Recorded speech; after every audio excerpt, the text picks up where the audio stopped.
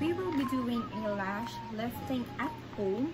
So, I bought this eyelash lifting tools from Shopee sa halagang 245 pesos only. So, itatry natin siya today. And without further ado, let's start! So, first things first, maglagay muna tayo ng ganito headband para hindi may punta sa mata natin ng ating hair. Ayan, kasi marami tayong baby hair. So, ayan, meron siyang instructions dito sa likod on how to use it. So, uh, i-walk through ko na lang kayo sa instructions na yun during our lash lifting. So, ito yung laman niya, guys. False lashes blue. And, um, ito. Firm, number one. Is number two is for fixation. Number three is for nutrition. And number four is for the cleanser. So, meron din tayo dito na lift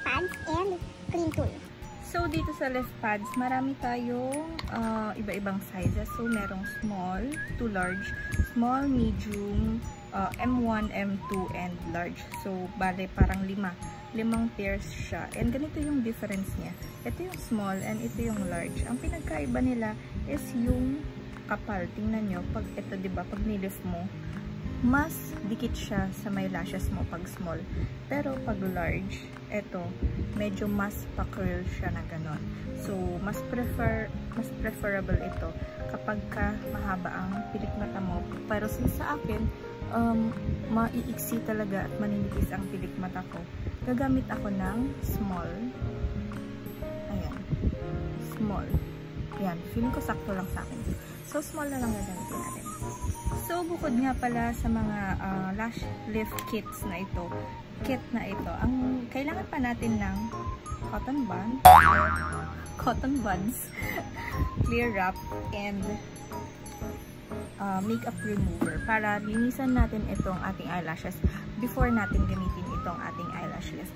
So, yun. Nalinis ko na siya kanina and so, proceed na tayo sa pagdikit ng ating uh, lift pad didikitan lang natin itong likod ng ating left pads para maidikit natin siya sa ating eyelids at hindi dumikit ang mga products na gagamitin natin for firming sa ating skin. So, I will be doing one eye at a time. So, uunahin muna natin ang ating uh, left eye.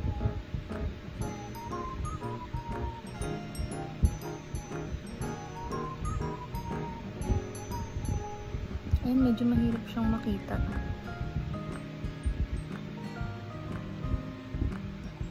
Gamit tayo ng mirror. Wait lang guys ha. Ah. Unahin na lang pala natin yung light. Guys, hindi ganun kadikit yung kaniyang false lashes glue. So, ang gagamitin na lang natin is itong na lash glue. Ayan, hold lang natin sa for some seconds para dumikit talaga.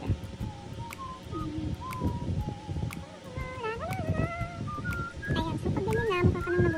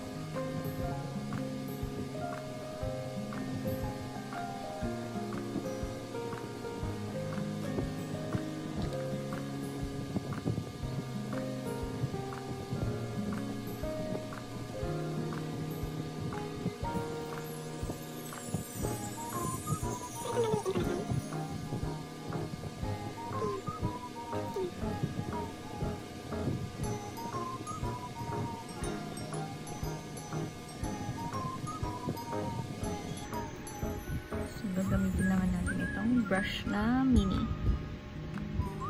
para maghiwa-hiwalay sila. So, ayusin natin yung pagkaka uh, spacing ng ating lashes. Yan. So, ayan na guys. Naka-lift na ang ating lashes. Nakadikit na siya sa ating left pads. Ayan. So, ganyan ang bet ko na kakalabasan niya later on. And medyo nahirapan akong pagdikit idikit tong aking lip pad sa aking mata kasi talagang pa-curve ang ating aking mata at hindi siya as in flat. So, ayan. Na siya. And, uh, patayin lang ng 1 minute ang glue and then proceed na tayo sa number 1 which is yung perm. So, gagamit tayo ng cotton buds. Hindi kasha yung ating cotton buds dito. So, paano ba to? Wait lang.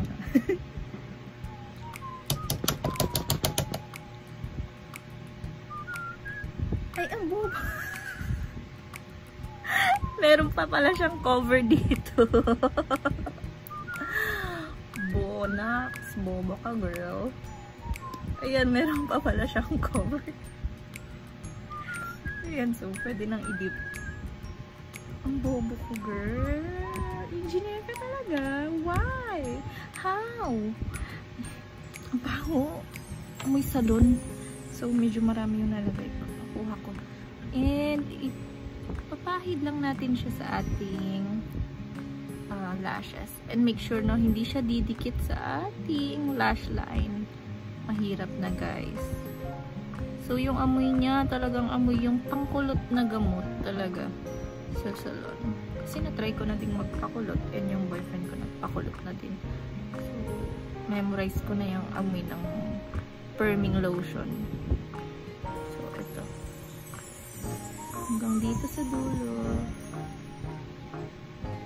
Hmm, ang lakas ng amoy niya. And after nito, doon naman natin gagamitin yung ating clear wraps or yung plastic. Ang dami pa nito. Konti lang pala magagamit mo. So, parang siguro mga ilang months mo rin itong magagamit. Kasi yung nakalagay sa expiration niya, manufacturing is 2021 lang and expiration is 2024. So, 3 years pa siya. Balot lang natin siya for 10 to 12 minutes ayon sa instructions. Ayan.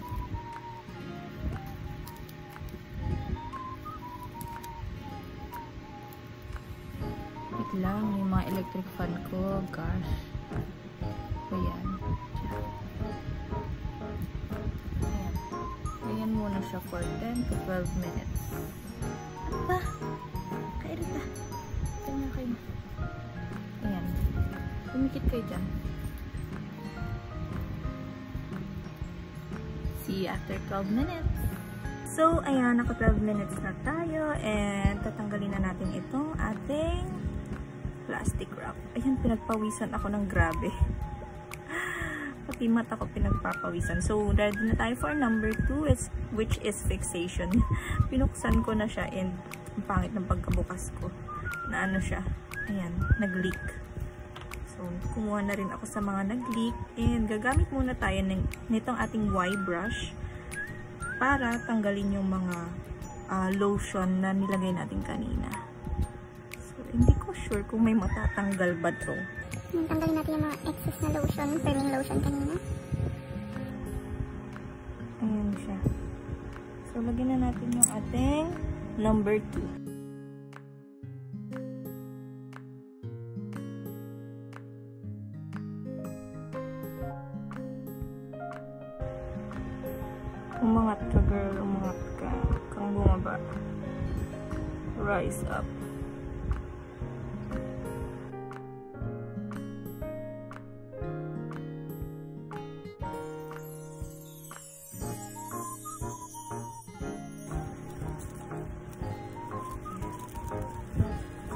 Yung pagbalot natin is i-pull natin siya pataas para ma-press yung ating mga lashes upwards.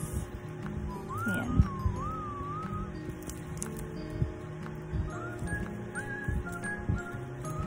Okay, so pikit lang tayo kung hindi natin kaya na uh, nakamulat all.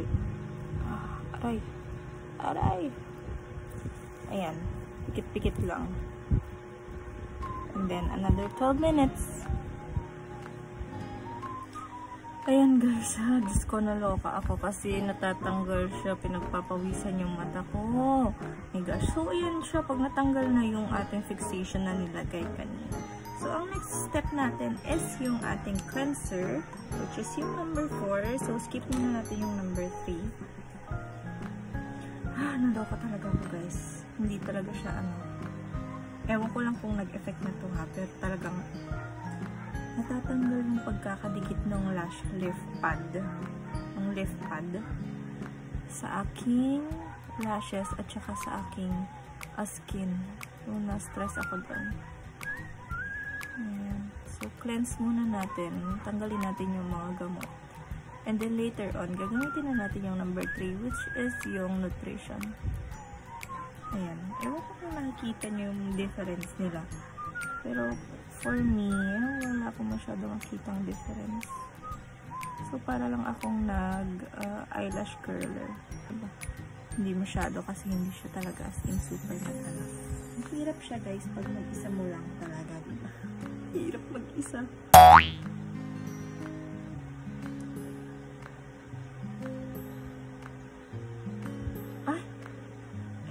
Naman sa kanya, nag-lift naman siya. Announce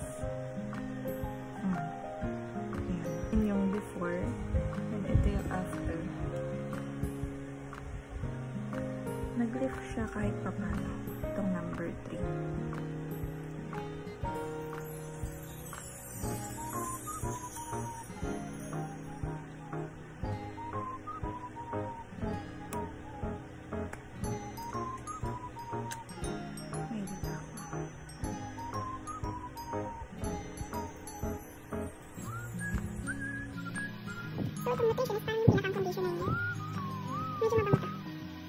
Siya with nutrition.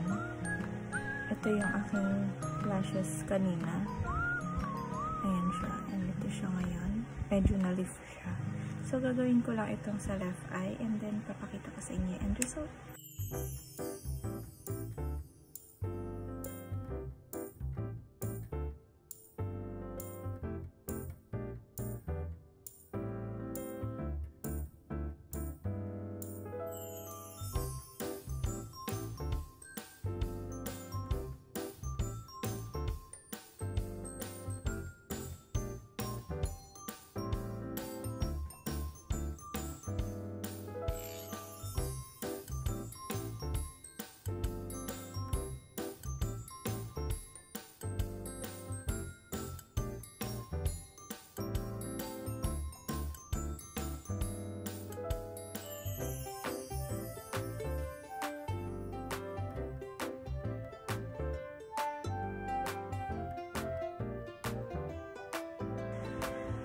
Ulitin natin.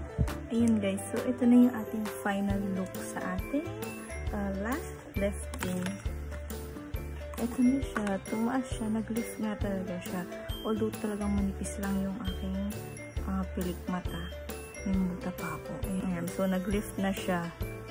So ngayon, lalagyan natin siya ng Falsy Slash Lift from Maybelline. Ito yung pinakabago nila na uh, napapanood natin sa TikTok lagi. So,